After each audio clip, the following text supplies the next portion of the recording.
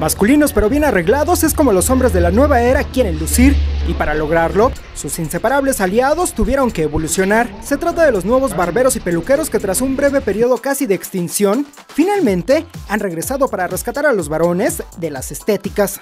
El concepto de barbería es algo pues nuevo en Puebla, entre comillas.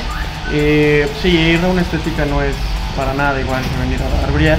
Es es más cómodo, es mejor, eh, los estilos pues, son totalmente diferentes y prácticamente pues es eso, que sentir la confianza de lo que te están haciendo, de que te guste lo que te hagan, verte bien en un lugar donde te sientas bien con todo el estilo y que sí, que sea algo varonil. Atrás quedaron los casquetes cortos para dar paso a una nueva era de cortes y peinados que junto con la barba exigen cada vez más detalle por parte de estos profesionales del cabello.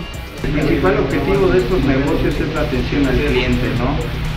La satisfacción que te dejes cuando las personas reconocen tu trabajo, te dicen que lo haces bien y regresan al paso del tiempo a, una cita previa contigo. Yo creo que es el mejor regalo, ¿no? Que la gente te dé la confianza de su aspecto. Incluso los más antiguos barberos de Puebla han tenido que avanzar con el paso del tiempo. Desgraciadamente ya las peluquerías ya nada más quedan pocas.